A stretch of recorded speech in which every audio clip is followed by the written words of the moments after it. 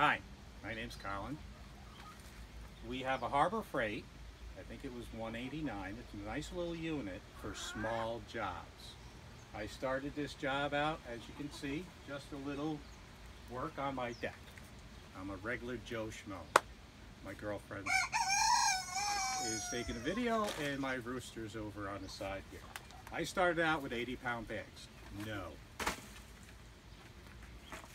Went and got, because I didn't have enough, the little 50 pound bags. The 80 pound bag barely fits on the top. 50 pound bags looks like it'll do a little bit better.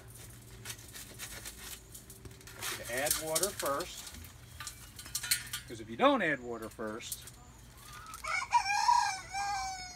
thank you, all the dry stuff sits in there and doesn't go.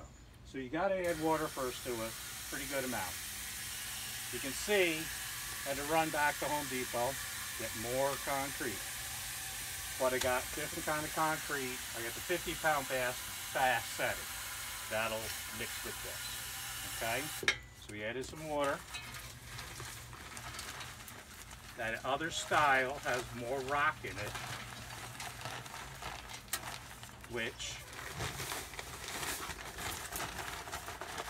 rock tends to come to the top after a while. If you want it to be nice and smooth, you may want to go with something like this. Okay? Hopefully she turns on. Come over here.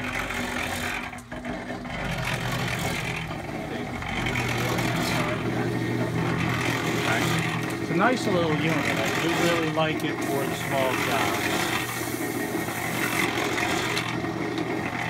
For a 50 pound bag, it's about the best we're going to do it.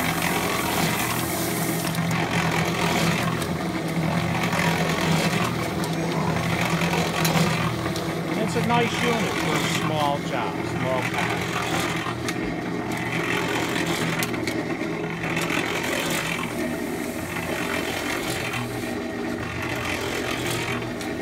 Basically, I'm going to cut the video short here. I'm not going to prolong this. I set it over top of the thing, in your barrel, and keep going.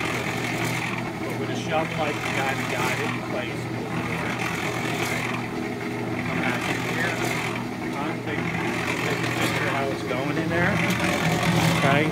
A 50 pound bag at a time will do well. Maybe add a little more water.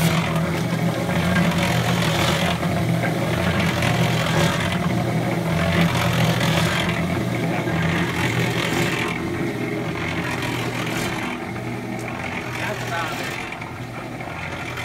It's frustrating because I couldn't find a video of a Joe Schmo like me just doing a simple job. For $189 it's worth it. We're looking at doing a hot tub job. I'm not thinking a hot tub 8 by 8 can with this video. Hope you guys enjoy it. See you back soon.